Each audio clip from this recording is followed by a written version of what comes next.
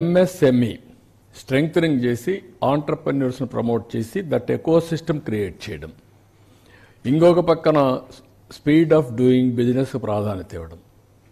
దీనికి కావలసిన environment create చేయడం ఫైనాన్షియల్ ఇన్సెంటివ్స్ అన్నీ తీసుకొని అలాంటి ఎన్విరాన్మెంట్ ఒక ఎకో సిస్టాన్ని క్రియేట్ చేసి నెక్స్ట్ లెవెల్కి ఎట్ట తీసుకుపోవాలో తీసుకుపోవడం కోసం వీఆర్ వర్కింగ్ నెక్స్ట్ ఇప్పుడు ఇక్కడికి వచ్చినప్పుడు ఈ కాస్ట్ తగ్గించడానికి మీరు చూస్తే land efficient quality power water road infrastructure.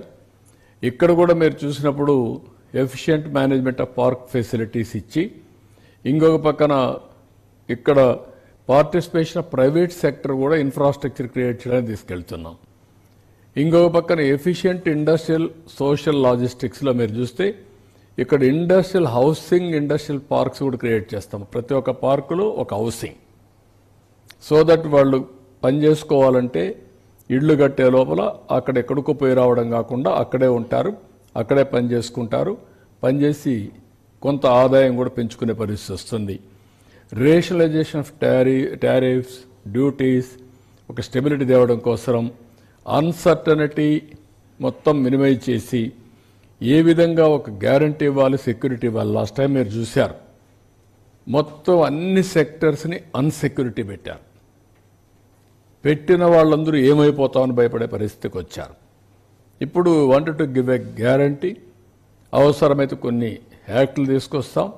రాబోయే రోజుల్లో ప్రజల్లో కూడా చైతన్యం తీసుకొస్తాం. ఒక స్టెబిలిటీ తీసుకొచ్చి ముందుకెళ్తాం. ఇంకొక పక్క లేబర్ ప్రొడక్టివిటీ ఇంక్రీజ్ చేస్తాం. ఇక్కడ స్కిల్ టాలెంట్ కానీ అవైలబిలిటీ యాక్సెసిబిలిటీ ఇవన్నీ కూడా ఏ విధంగా చేయాలని అవన్నీ చేస్తాం. స్కిల్ సెన్సెస్ కూడా చెప్పాను.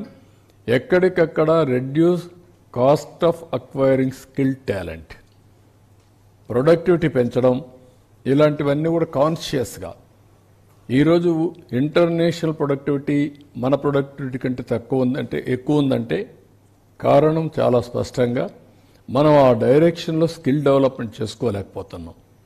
మనం వాడే లేటెస్ట్ టెక్నాలజీస్ కానీ లేకపోతే ఎక్విప్మెంట్ కానీ ఇవన్నీ కూడా అవుట్డేటెడ్ కావడం దానివల్ల ప్రొడక్టివిటీ తగ్గిపోవడం ఇవన్నీ వస్తున్నాయి. అలాంటివన్నీ కూడా తీసుకొస్తాం. నెక్స్ట్ ఇంకొక పక్కన స్పీడ్ ఆఫ్ డూయింగ్ బిజినెస్లో సింగిల్ విండో ఇంత మునుపు కూడా ఐదు సంవత్సరాల్లో మనమే నాలుగు సంవత్సరాలు ease of doing business number one వచ్చాం. Now I'm coining speed of doing business ఎంత స్పీడ్గా చేయగలుగుతాం వర్కౌట్ చేస్తాం. మల్టిపుల్ సింగిల్ ఏదైతే ఉన్నారో ఎలిమినేట్ చేసేసి సింగిల్ డెస్క్ పెట్టి how to clear everything we are working ఒక క్లియరెన్సే కాకుండా ఏదైనా సరే ఎంత ఫాస్ట్గా చేయగలుగుతాం సింగిల్ విండోలో చేస్తాం. ఇంకొక పక్కన ఈడీబీకి ఒకసారి అప్లికేషన్ ఇస్తే ఆటోమేటిక్గా ఆల్ డిపార్ట్మెంట్స్ అవసరమైతే డీమ్డ్ క్లియరెన్సెస్ ఇస్తాం. ఆటోమేటిక్గా ఈ టైం పెట్టి. ఈ టైంలో కానీ క్లియర్ చేయకపోతే. Responsibility lies on officer but ప్రమోటర్కి deemed clearance ఇచ్చేస్తాం. అదే మరి ఫారిన్ ఇన్వెస్టర్స్కి హ్యాండ్ హోల్డింగ్ కోసం ఇక్కడ లోకల్ అడ్మినిస్ట్రేషన్ ఇవన్నిటికీ కంపెనీలను బట్టి ఒక ఆఫీసర్ కూడా పెడతాం. ఒక ఐఏఎస్ ఆఫీసర్ ఎస్కార్ట్ ఆఫీసర్ ఉంటారు వాళ్ళకు. వాళ్ళకి గైడ్ చేస్తారు హ్యాండ్ హోల్డింగ్ అన్నిటికీ. ఇంటిగ్రేటెడ్ డేటా మేనేజ్మెంట్ సిస్టమ్ తీసుకొస్తాం. ఎక్కడికక్కడ డేటా బట్టి వాళ్ళు ఏది చూసుకున్నా కూడా క్లియరెన్సెస్ కూడా ఆటోమేటిక్గా వెళ్ళిపోతాయి. వాళ్ళు ఎవ్రీ ఆఫీస్ చుట్టూ తిరగకుండా ఈజీగా చేసే పరిస్థితి తీసుకొస్తాం. Reengineering of regulatory and process and procedures మొత్తం తీసుకొస్తాం. మొన్నే మీరు చూసే సెల్ఫ్ సర్టిఫికేషన్ లేకుంటే రెన్యువల్.